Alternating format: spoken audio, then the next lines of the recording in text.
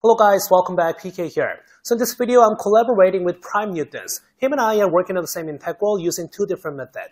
I'll be using keyhole contour method in complex analysis, and Prime Newton is using non-complex analysis. So check both our videos. So go to his YouTube channel, he's been working on so many interesting math questions, and subscribe, and stay tuned. Hello guys, welcome back, PK here. So in this video, we're going to be evaluating these two interesting integrals. First one, I11, that is integral from 0 to infinity, ln square x over 1 plus x squared dx. And then the second one, I12, that is integral from 0 to infinity, just ln x over 1 plus x squared dx. So conveniently, we can evaluate this second integral, right? Which has to be equal to 0 using symmetry. Or we can use u substitution. For example, for the second integral, this i, 12, that is integral from 0 to infinity ln x over 1 plus x squared dx. Okay, let's use u substitution. Let me call this u as 1 over x. Then x has to be equal to 1 over u. So that's why your dx has to be equal to negative 1 over u squared, and then we have du. So using this, we can rewrite this as now, okay, the same thing as, let me switch these to lower bound and the upper bound. From infinity to zero, and then we have ln of 1 over u over 1 plus 1 over u squared times this negative 1 over u squared and then du. This has to be the same thing as now the negative integral from 0 to infinity. And then we have ln u over 1 plus u squared du, which is the same thing as now the negative i12. So that's why we can easily specify the value of this i12 is now equal to 0. Okay, then for the first integral, I11, integral from 0 to infinity ln square x over 1 plus x squared dx. We will be using this keyhole contour and branch cut, right? So this integral I11. Okay, that was integral from 0 to infinity. Then we have ln square x over 1 plus x squared dx. So for this, I'll be calling this, say, um, f of z. That is ln square of the z over 1 plus z square. So we'll be using the ln, and then at this time, it has to be now on the branch cut. We'll be using the branch cut on the real axis, which is now that x is now less than 0. Okay, so that is what we have. So that's why, in this case, for, for real um, z that is less than 0. Okay, then we can specify how your ln of now the z ln of z is equal to ln of absolute value of the z, now plus i pi. So that's why we can also say your ln of now then i e to the power of i theta. This has to be the same thing as ln of i and then plus i theta. Okay, that will be an expression that we can use. So that's why from this we can say your f of now z f of z has to be f of z has to be analytic on the imaginary of the z that is greater than now 0. Okay, which is an important part for this integral. And then at the same time, we will have a pole. Pole at z is equal to i which means we can use this keyhole contour, right? So we can maybe draw this semicircle. Okay, based on all these previous information, we can work on keyhole contour.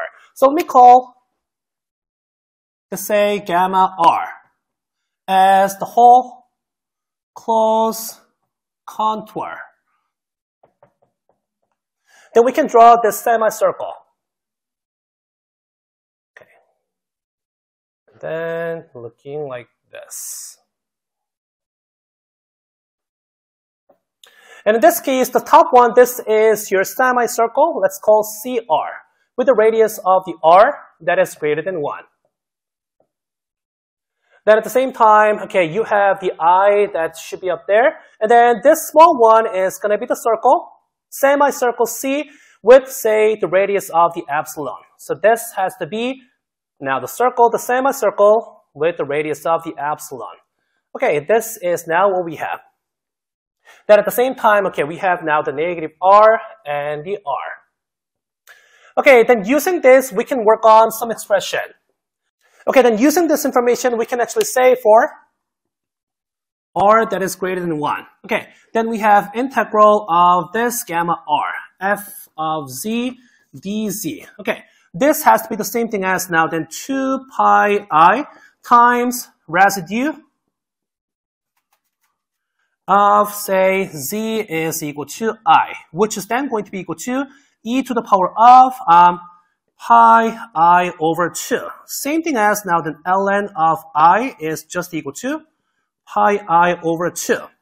So that's why we can calculate this, right? So if you calculate this, then it has to be the same thing as 2 pi i times, okay, say pi i over 2 now, square over 2i.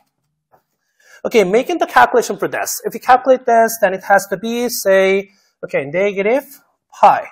Now times pi square over 4, which has to be the same thing as negative pi cube over 4.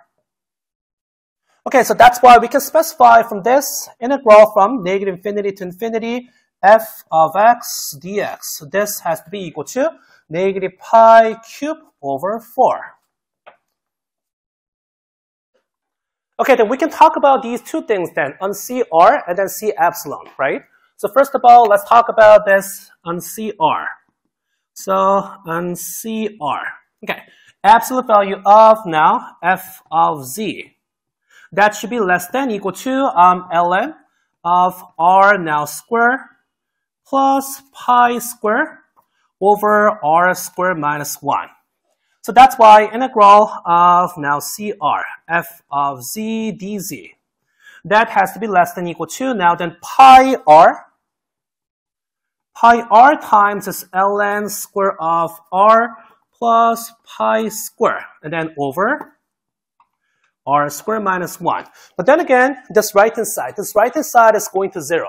This is now going to 0 if your r is going to infinity.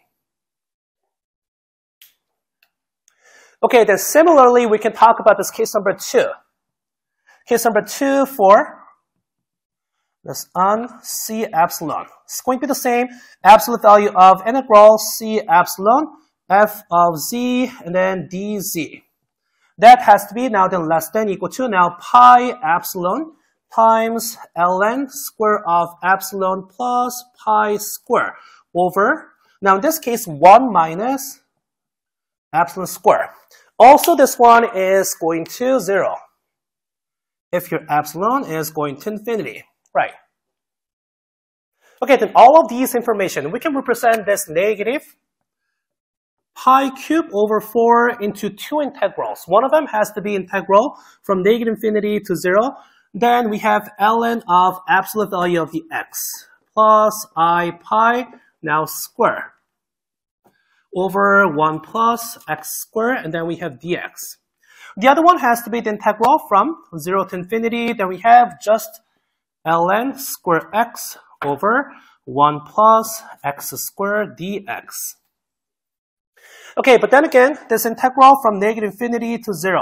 And then ln of ln square of absolute value of dx over 1 plus x squared dx. This has to be the same thing as integral from 0 to infinity of ln square x over 1 plus x squared dx.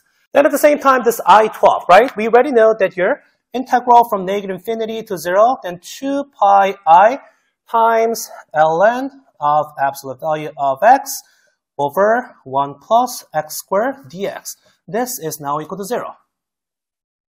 Okay, then from this we can obtain negative pi cube over 4. Okay, negative pi cube over 4 has to be the same thing as 2 times integral from 0 to infinity ln square x over 1 plus x square and dx. Okay, the right-hand side has to be the same thing as now the negative pi square. Uh, that times integral from negative infinity to now 0 of 1 over 1 plus x squared and dx. Okay, so this integral has to be the same thing as now. So it has to be negative pi now square times arctangent. Arctangent of 0 uh, minus arctangent of negative infinity. So that's why if you calculate this, then it has to be the same thing as negative pi now square times pi over now 2. That's why we have now this pi cubed over 4 has to be the same thing as 2 times integral from 0 to infinity, and then we have ln squared x over 1 plus x squared dx. So we got the answer. So that's why now the answer for this question, integral from 0 to infinity ln square x over 1 plus x squared. This has to be the same thing as pi now cube over 8. So pi cube over 8 is the answer for this question. So pretty interesting integral, so I'll be back with more videos, more questions like this sometime soon.